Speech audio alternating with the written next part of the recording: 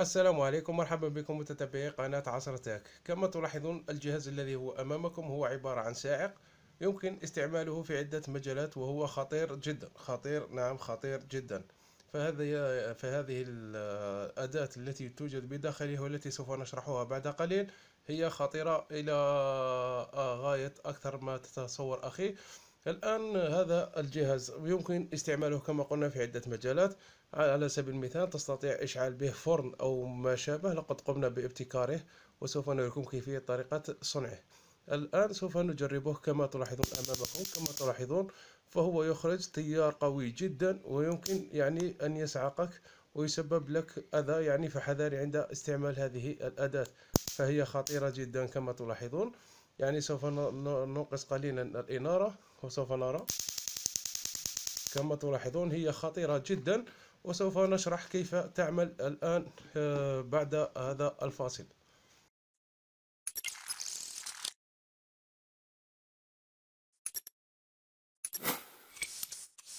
هذه البطارية. هذه البطارية لقد وصلتني آه، البارحة. سوف نقوم بشرحها قليلا. سوف نقوم بفتحها أولا ثم سوف نشرحها.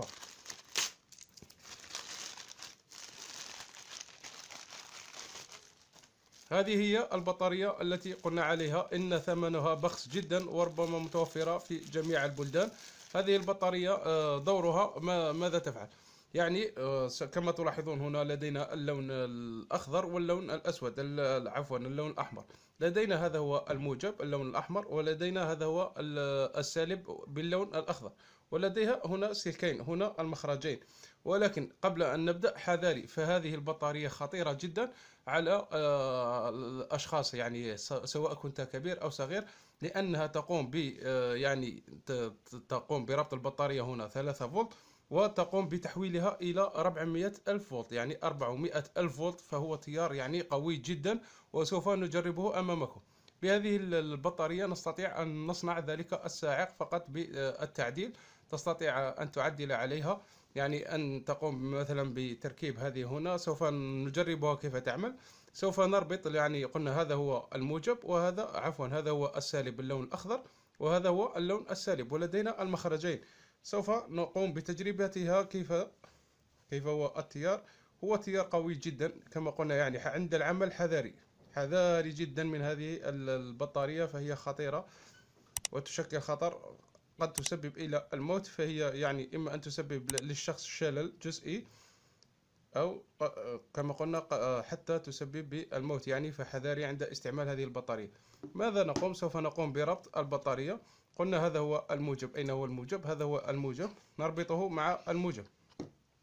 ولكن قبل أن نربط مع الموجب سوف نحتاج إلى قاطعة مثل هذه القاطعة. فقط لكي نعمل عليها نقوم بربطها هكذا.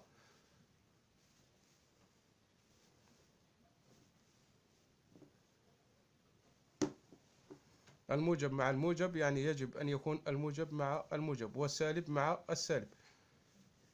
لكي تعرف الموجب فقلنا اللون الأحمر هو الموجب واللون الأخضر هو السالب. نتأكد بأن القاطعة يعني في وضعية الأوف يعني منطفئة وليست يعني شغالة. ثم نربط السالب مع السالب وسوف نلاحظ النتيجة. الآن كما تلاحظون لقد عملنا هذه الطريقة. الآن لدينا هذه هنا حذاري يعني عند تشغيلها حذاري من لمس هذه الأسلاك فهي خطيرة جدا فحذاري من لمسها. لو شغلناها لاحظوا معي. كما تلاحظون الآن لاحظ معي لو شغلناها. تصدر تيار قوي.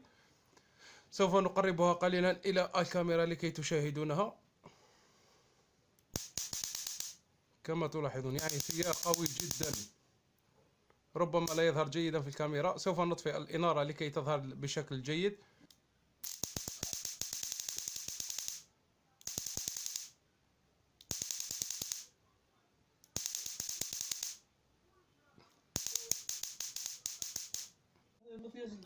أما إن أردت صنع هذه الأداة بالطريقة التي قمت أنا بصنعها كل ما كل ما تحتاجه هو علبة يعني الدواء كما تلاحظون.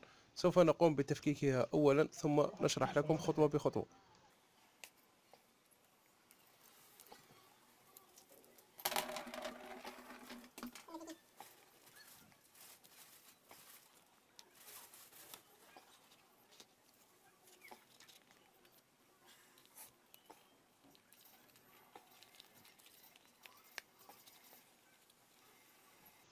كما تلاحظون أمامكم هي ليست معقدة الطريقة سهلة جدا. الآن كما تلاحظون لدينا هنا البطارية وحامل البطاريات يعني التي سوف نقوم بتركيبها. الآن لدينا هذه البطارية كما تلاحظون والتي شرحناها من قبل. كل ما علينا فعله هو يعني نقوم بربطها في آه، لوحة كما تلاحظون هنا. نقوم بلوحة خشبية نقوم بربطها في سلكين نقوم بعمل ثقب للوحة كما تلاحظون ثقب مقابل ثقب ثم نقوم بإدخال السلك النحاسي ثم نقوم بتلحيم آه، مخرجي البطارية مع السلكين النحاسيين كما تلاحظون في آه، أمامكم في الفيديو. أما في الجهة المقابلة فلدينا سلك الموجب والسلك السالب نقوم بتوصيله بالبطارية والقاطعة. ولمن يريد أن يحصل على حمل البطاريات كل ما عليك هو انتزاعه من أي لعبة قديمة أو آه، لوحة التحكم الخاصة بالتلفاز أو جهاز الاستقبال ثم تقوم بقطعها كما قمت أنا بقطعها وتقوم بتركيب البطاريات فيها. آه، لقد قمت بقطعها من علبة آه، تحكم خاصة بالجهاز التلفاز. وكما قلنا الطريقة جد سهلة وقاطعة مثل هذه. تقوم بتوصيلها يعني الموجب مع الموجب والسالب مع السالب لكي لا يتلف عليك الأمر كما تلاحظون هنا. لدينا السالب. هنا وصلته مباشرة مع سالب البطارية. أما الموجب فقط قمت بوصل الموجب مع القاطعة لكي أقوم بالتحكم بشكل سلس يعني هنا تركيب القاطعة. وهذه علبة الدواء هنا كما تلاحظون هذا هو الشكل النهائي. الطريقة جد سهلة لمن يرغب في آه، صنع هذه الأداة. ولكن كما قلت فهي خطيرة جدا حذاري عند استعمالها.